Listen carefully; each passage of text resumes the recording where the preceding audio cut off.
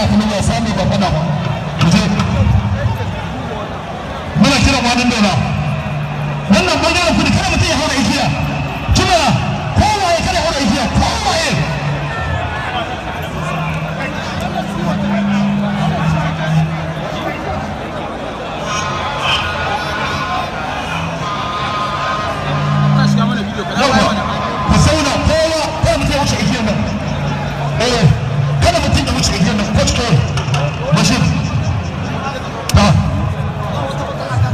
Ali